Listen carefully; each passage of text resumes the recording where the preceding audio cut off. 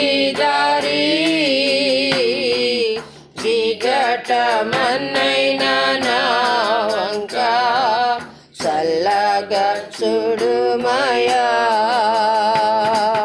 దిగటమన్నైన నా వంక చల్లగా చూడుమయా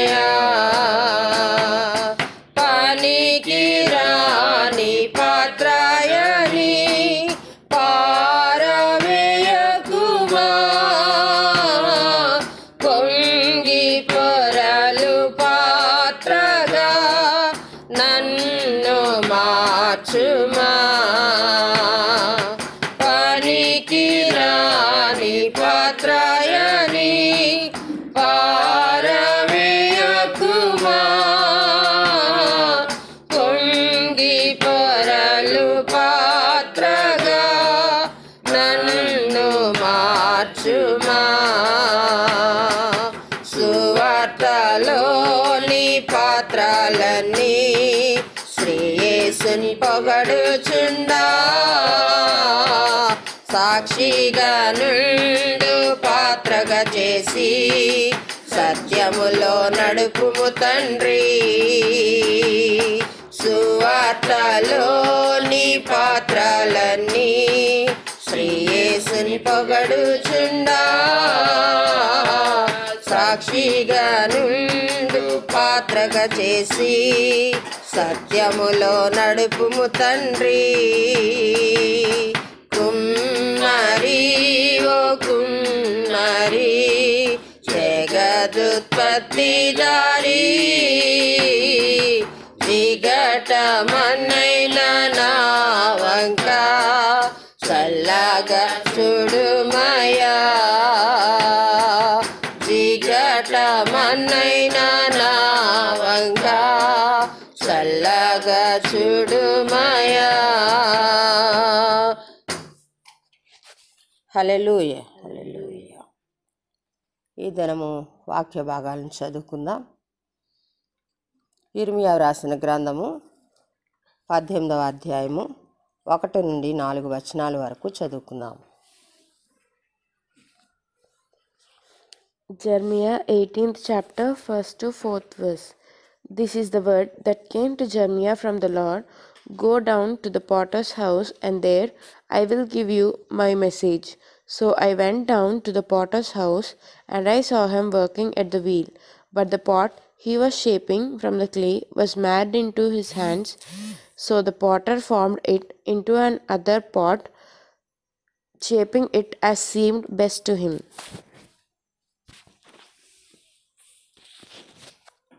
ఈ దినముగా ఏర్పాటు చేయబడినటువంటి వాక్య భాగము ఇర్మియా రాసిన గ్రంథము పద్దెనిమిదో అధ్యాయము ఒకటి నుంచి నాలుగు వచనాలు చదువుకుందాం. యహోవా యొద్ద నుండి ఇర్మియాకు ప్రత్యక్షమైన వాక్కు. నీవు లేచి కుమ్మరి ఇంటికి పోము. అక్కడ నా మాటలు నీకు తెలియజేతును. నేను కుమ్మరి ఇంటికి వెళ్ళగా వాడు తన సారి మీద పని చేయుచుండెను. కుమ్మరి జిగటమంటితో చేయుచున్న కుండ వాని చేతిలో విడిపోగా ఆ జిగటమన్ను మరలా తీసుకుని కొమ్మరి తనకు యుక్తమైనట్టుగా దానితో మరి చేశాను. దేవుడి పరిశుద్ధ వాక్యం మన వెనుకల్లో దీవించినగా మొట్టమొదటిగా మనకి సమయాన్ని ఇచ్చిన దేవాతి దేవునికి అద్వితీయునికి మన అందరి పక్షముగా వందనాలు చెల్లిస్తూ ఉన్నాను. స్పిరిట్ లిఫ్టర్స్ అన్లిమిటెడ్ మినిస్ట్రీస్ కుటుంబస్తులందరికీ కూడా నా ధన్యవాదాలు ఈ ప్రాతకాల సమయంలో తెలియచేస్తూ ఉన్నాను. ఈ దినాన్ని దైవ వాక్య లేఖన భాగాన్ని మీతో పంచుకోవడానికి దేవుడిచ్చిన ఈ తరుణాన్ని బట్టి పరిశుద్ధ లేఖన భాగంలో ఇర్మియా గ్రంథము పద్దెనిమిదవ అధ్యాయము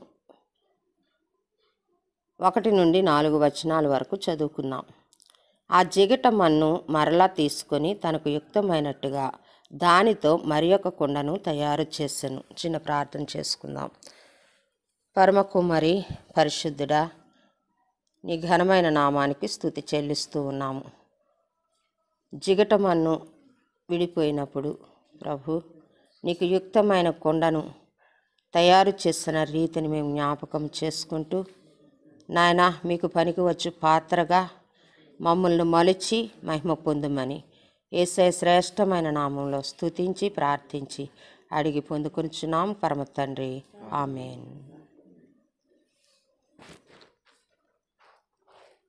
పరిశుద్ధ గ్రంథములో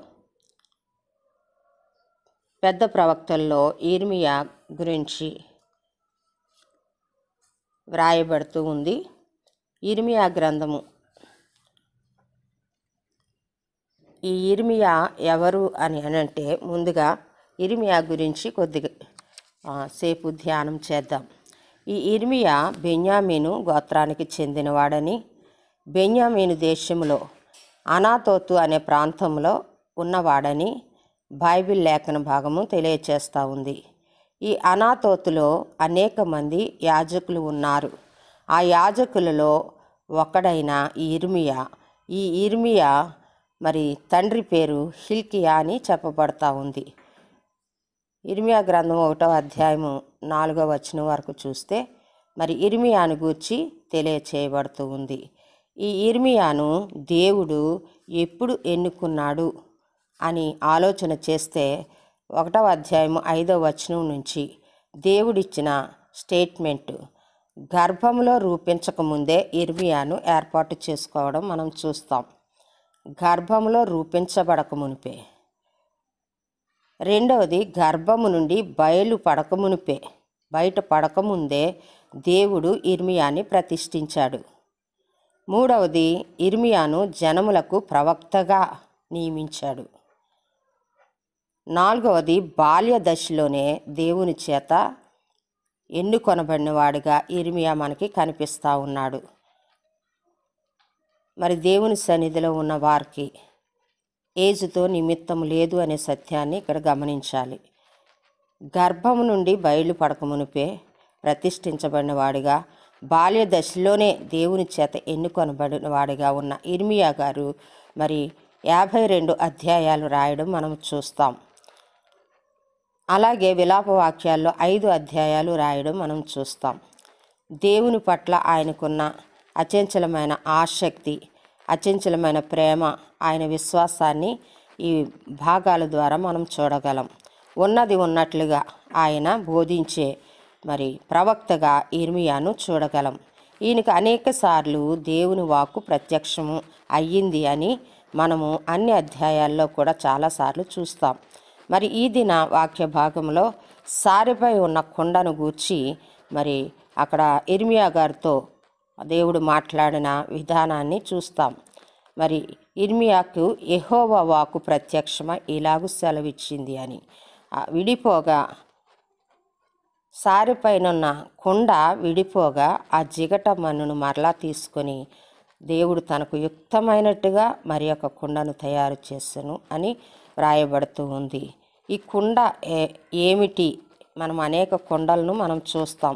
మరి కుమ్మరి వాని దగ్గరికి వెళ్ళమని ఆ కుమ్మరి సారిపై ఉన్న కుండను ఎలాగూ చేస్తూ ఉన్నాడో విడిపోయినప్పుడు మరలా దానిని దాని రూపాన్ని ఎలాగైతే సరిచేసి తనకి ఇష్టమైన రీతిలో మరి తయారు చేస్తూ ఉన్నాడో అది చూచి మరి నిదానించి దానిని పరిశీలించాలని దేవుడు ఇర్మియా భక్తునికి తెలియచేస్తూ ఉన్నాడు. ఈ కుండ మానవుని దేహానికి గుర్తుగా ఉంది. మానవ శరీరానికి గుర్తుగా ఉంది. ఆది కాండం రెండో అధ్యాయం ఏడో వచనంలో చూస్తే దేవుడు మానవుని నేలమంటితో నిర్మించి వాని నాసికారంధ్రంలో జీవవాయువును వదగా నరుడు జీవాత్మ ఆయను అని సెలవిస్తూ ఉంది. నేల మంటితో నిర్మించబడిన నరుని గూర్చి మరి మానవుని గూర్చి దేవుడు రాయిస్తూ ఉన్న సత్యము. వాని నాసికారంధ్రంలో జీవవాయువును ఊదాడు. అప్పుడు నరుడు జీవాత్మ అని సెలవిస్తూ ఉంది. మరి పరమకుమారి అయిన యహోవా దేవుడు తయారు చేసిన కుండలు ఎవరు అని అంటే ఆదాము అవ్వ. మరి ఆది తల్లిదండ్రులైన ఆదాము అవ్వలు దేవునితో సహవాసం చేస్తూ మరి సాతాను మాటను విని దేవుని వాక్కును ప్రక్కన పెట్టి తమ ఆలోచన చొప్పున నడుచుకొని మరి తన మూర్ఖ హృదయం చొప్పున ప్రవర్తిస్తామని మరి వారు తీసుకున్న నిర్ణయాన్ని బదులు మరి ఆ ఆ నిర్ణయానికి ప్రతిఫలం ఏంటి అని అంటే ఏదేను తోట నుండి గెంటి వేయబడ్డం మనం చూస్తూ ఉన్నాం. మరి పరమ కుమారి వాక్కు ఏమని చెప్తుందంటే ఆ, ఇనిమియా గ్రంథం పద్దెనిమిదవ అధ్యాయం ఆరు వచనంలో ఇస్రాయేలు వార్లారా జిగటమన్ను కుమ్మరి చేతిలో ఉన్నట్లుగా మీరు నా చేతిలో ఉన్నారు. ఇస్రాయేలీలు అనగా దేవుని యొక్క జనాంగం దేవుని యొక్క ప్రజలు. మరి ఇస్రాయేలీల్ని విమోచించి ఐగుప్తు నుండి విడుదల చేసి కానానుకు నడిపించేటప్పుడు మరి దేవుడు వారి పట్ల చూపిస్తున్న ప్రేమ. జిగటమ్మను ఏ రీతిగా కుమ్మరి చేతిలో ఉంటే ఆ ఇష్టమైందిగా తను అనుకున్న రీతిలో తయారు చేస్తాడు అలాగే మీరు కూడా నా చేతిలో ఉన్నారని దేవుడు చెప్తూ ఉన్నాడు. కానీ వారు ఏం చేస్తున్నారు అనంటే దుష్ట మార్గాల్ని ఎన్నుకుంటూ ఉన్నారు. ఆయన చెప్తూ ఉన్నారు మీరు మీ దుష్ట మార్గమును విడిచి మీ మార్గములను మీ క్రియలను చక్కపరుచుకొనడి అని ఒక హెచ్చరికను పద్దెనిమిదో అధ్యాయం పదకొండవ వచనంలో మనం చూడగలం. మరి ఇక్కడ సారె పైనున్న కుండను మనము చూస్తూ ఉన్నాము. రెండవదిగా పగిలి ఉన్న కుండ. పగిలి ఉన్న కుండను గూర్చి పంతొమ్మిదవ అధ్యాయము పదకొండవ వచనంలో కనపడతా ఉంది. మరలా బాగు చేయన సఖ్యమైన కుమ్మరి పాత్రను ఒకడు పగులగొట్టినట్లు.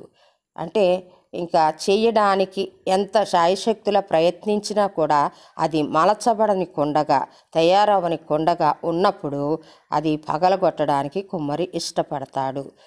కనుక నేను ఈ జనమును ఈ పట్టణమును పగలగొట్టబోచున్నాను అని చెప్తూ ఉన్నాడు. ఏ జనము ఏ పట్టణము అని అంటే అక్కడ వ్రాయబడుతూ ఉంది తోఫెతు బెన్హిన్నోం లోయ హత్యలోయ అనే మాటలు పంతొమ్మిదవ అధ్యాయంలో మనం చూస్తూ ఉన్నాం. మరి ఈ లోయలో ఉన్న ఆ పేర్లు కూడా ఎత్తడానికి ఉచ్చరించడానికి మరి ఆ ఇష్టపడని రీతిలో ఈ పంతొమ్మిదో అధ్యాయం కనబడతా ఉంది. ఈ పంతొమ్మిదో అధ్యాయంలో కనబడిన విషయాల నెరవేర్పు కరోనా అనే పేరుతో మనము ఈ ఇరవయో శతాబ్దంలో మరి చవి చూచాం. కండ్లారా చూచాము. మరి భయభ్రాంతులము అయ్యాము. మరి ఈ పగిలిన కుండ లాగా ఉండకూడదు అని దేవుడు సెలవిస్తూ ఉన్నాడు. యశా గ్రంథము ముప్పై అధ్యాయము పద్నాలుగో వచనం చూస్తే కుమ్మరి కుండ పగుల గొట్టబడినట్లు ఆయన ఏమీయూ విడిచిపెట్టక దాని పగులగొట్టును అని చెప్తా ఉన్నాడు. కుమ్మరి ఎలాగైతే ఆ కొండను పనికిరాని కొండను పారవేస్తాడో మరి వాటిని పగలగొడతాడో దేవుడు కూడా ఆయన మాటకు లోబడిన వారిని దుష్టత్వంతో ముందుకు కొనసాగుతున్న మూర్ఖ హృదయాలతో ముందుకు కొనసాగుతున్న మనుష్యులకు కూడా ఆ రీతిగా జరుగుతుంది అని దేవుని వాక్కు సెలవిస్తూ ఉంది. జగత్తును సృష్టించిన దేవుని చేతిలో నీవు నేను కూడా సారిపై ఉన్న మంటి అని జ్ఞాపకం చేసుకోవాలి. లేదా పగిలిన కొండవలే ఉంటే విసిరి దే మరి ఆయన చేత పారవేయబడి ఎందుకు పనికి రాకుండా వెళ్ళిపోతూ ఉంటాం. ప్రతి మానవుడు కూడా దేవుడు చేసిన పాత్ర అని మనం అనేకసార్లు మర్చిపోతూ ఉన్నాం. జిగటమన్ను అని మర్చిపోయి దేవుని వాకును తృణీకరిస్తూ మన జీవితాలని మరి చాలా భారంగా గడుపుతూ ఉన్నాం. మరి కీర్తనాకారుడైన దావీదు నేను ఓటి కుండ వంటి వాడను అంటాడు. ముప్పై ఒకటో అధ్యాయము పన్నెండవ వచనంలో చూస్తే మరణమై స్మరణకు రాకున్న వాని వలె మరువబడి తిని ఓటి కుండ వంటి వాడనై తిని అని అక్కడ దావీదు మహారాజు చెప్పడం మనం చూస్తాం. దావీదు విషయంలో దేవుడిచ్చిన స్టేట్మెంటు ఈయన నా హృదయానుసారుడైన మనుష్యుడు. దావీదును చూస్తే అనేక కీర్తనలు అందరినీ విడిచిపెట్టి దేవునిని వెంబడించిన వాడిగా చూస్తాం. కానీ ఆయన ఒక మరి ముప్పై ఒకటో అధ్యాయం పన్నెండవ వచనంలో అంటాడు కదా మరణమై స్మరణకు రాకున్న వాని వలె నేను మరోబడతా ఉన్నాను. కొన్నిసార్లు మనము కూడా మరి ఆ రీతిగా ఎందుకు వచ్చిన బ్రతుకు ఎందుకు బ్రతుకుతున్నాం అనే ఆ నిరాశ నిస్పృహల్లో కొనసాగుతూ ఉంటాం. ఓటి కుండలుగా మరి కొన్నిసార్లు మనం తయారవుతూ ఉంటాం. కనుక మరి దేవుని వాక్యాన్ని విని వెంటనే మర్చిపోతే ఆ ఓటి కొండల వంటి వారమే. కానీ దేవుని వాక్యాన్ని సత్యాన్ని తెలుసుకొని ఆ సత్యములో నడుస్తూ ఉంటే మరి వాటి నుంచి మనం రాగ బయటకు రాగలము అనే సత్యాన్ని దేవుడు తెలియచేస్తూ ఉన్నాడు. ఎహెస్కేల్ గ్రంథము ఇరవై నాలుగో అధ్యాయము ఆరో వచనంలో మడ్డి గల కొండ అని ఆ మడ్డి గల కొండను గూర్చి మరి ఎహెస్కేలు ప్రవక్త రాస్తూ ఉన్నాడు. మానకుండా మడ్డి కలిగి ఉండకుండా నీకు శ్రమ అని అక్కడ మడ్డితో ఉన్న కుండను గూర్చి రాస్తా ఉన్నాడు. నామకార్థ క్రైస్తవత్వాన్ని గూర్చి మరి క్రైస్తవులను చెప్పుకునేవారు. మనం గూర్చి దేవుడు మాట్లాడుతున్న మాటలు ఏమిటి అనంటే అలసట పుట్టు వరకు ఇంతగా శ్రద్ధ పుచ్చుకొనెనను దాని విస్తారమైన మస్టు పోదాయను. మస్టుతో కూడా దానిని అగ్నిలో వేయండి అని అక్కడ చెప్పడం మనం చూస్తాం. ఈ మడ్డి గల కొండను మరి పొయ్యి మీద పెట్టి దాని మడ్డి అంతటినీ కూడా మరి తోముదాము లేకపోతే తీసివేద్దామని దేవుడు చూస్తూ ఉంటే మరి క్రైస్తవులమైన మనము దానిలోనే ఇమిడిపోయి అంతవరకే మనము బ్రతుకుతూ ఉన్నాము. దేవుడట ఇంత శ్రద్ధ పుచ్చుకున్నాడట. శ్రద్ధ పుచ్చుకొనినా కూడా దానిలో ఉన్న మస్టు పోలేదు. కనుక ఈ దీనిని తీసుకెళ్ళి అగ్నిలో వేయండి అని చెప్తున్నాడు. ఎవరిని గూర్చి ఈ మాటలు చెప్పబడుతూ ఉన్నాయి అని అంటే మరి క్రైస్తవ జీవితంలో క్రైస్తవునిగా కొనసాగుతున్న నీవు నేను కూడా దేవుని యొక్క శక్తిని ఆశ్రయించినప్పుడు దేవుని సత్యములో నడవనప్పుడు దేవుడు వాడుతున్న మాటలు దేవుడు మాట్లాడుతున్న మాటలు మనం ఇక్కడ చూస్తూ ఉన్నాం. నేను నిన్ను శుభ్రపరచాలని చూచినా కూడా నీవు శుభ్రపడకపోతివి. కాబట్టి నేను కనికరింపను. సంతాపపడను. నీ క్రియలను బట్టి నీ ప్రవర్తన బట్టి కూడా నీకు శిక్ష విధిస్తాను అని హేజ్కేలు ప్రవక్త ద్వారా మరి ఆ దినాలలో మరి దేవుడు హెచ్చరిక చేశాడు. ఎవరైతే తన ప్రవర్తనను తన క్రియలను దిద్దుకుంటారో వారు దేవుని బిడ్డలు దేవుడు తనకిష్టమైన పాత్రగా మలిచి వాడుకుంటాడనే సత్యాన్ని దేవుడు తెలియచేస్తూ ఉన్నాడు. దేవుని బిడ్డలం అని చెప్పుకునే మనం కొన్నిసార్లు మన జీవితాల్లో ఎదురయ్యే అవరోధాలను బట్టి అవమానాలను బట్టి ఐహిక విచారాలను బట్టి మడ్డి కొండలుగా ఓటి కొండలుగా పగిలిన కొండలుగా దేనికి పనికిరాని కొండలుగా మిగిలిపోతాం. మన వేదనల్లో మన జీవనయాత్రను కొనసాగిస్తూ ఉన్నాం. కానీ దేవుని యొక్క ప్రణాళిక అది కాదు అని దేవుని దైవవాక్యం తెలియచేస్తూ ఉంది. ప్రతి క్రైస్తవుడు కూడా ప్రతి విశ్వాసి కూడా విశ్వాసంతో మరి దేవునిని వెతకాలని నేను సారిపైనున్న మంటి లాంటి దాన్ని నన్ను సరి అయిన పాత్రగా మలుచు తండ్రి నీకు మహిమ తెచ్చు పాత్రగా నన్ను తయారు చేయి ప్రభా అని ప్రాధేయపడినప్పుడు తప్పకుండా దేవుడు మన ప్రార్థన విని దానికి జవాబు అనుగ్రహిస్తారు. యశ్యా గ్రంథము అరవై నాలుగో అధ్యాయము ఎనిమిదో వచనంలో చెప్తారు నీవు మాకు తండ్రివి మేము జిగటమన్ను. నీవు మా కుమ్మరివి మేమందరము నీ చేతి పని అయి ఉన్నాము అని మరి యశా గ్రంథము మరి యశా భక్తుడు చెప్పిన రీతిని మనము కూడా ప్రార్థించాలి. దేవా నీకు ఇష్టమైన పాత్రగా నన్ను తయారు చేయి. నీ చిత్తాన్ని నెరవేర్చే బిడ్డగా నీ మహిమ కొరకు నన్ను నిలువబెట్టు ప్రభు అని కొనసాగి దేవునిని మహిమపరిచే భాగ్యము దేవుడు మనందరికీ అనుగ్రహించును గాక ఆమెన్. చిన్న ప్రార్థన చేసుకుందాం. అత్యున్నత సింహాసనంపై ఆసనుడైన మా ప్రియ పరలోకపు తండ్రి నీ ఘనమైన నామానికి స్థుతి స్తోత్రాలు వందనాలు చెల్లిస్తూ ఉన్నాం. ఈ ప్రాతకాల సమయంలో ప్రభు నాలుగు కుండలను మాకు చూపించారు. సారె పైన ఉన్న కుండగా సరిచేయబడిన కుండగా నీ చేతిలో ప్రభ మేము నాయన ఇమిడి ఉన్న కుండలుగా మమ్మను సిద్ధపరచమని ప్రార్థిస్తూ ఉన్నాం. నీ కృపలో నీ దయలో ప్రభా మమ్మల్ని జ్ఞాపకం చేసుకునండి.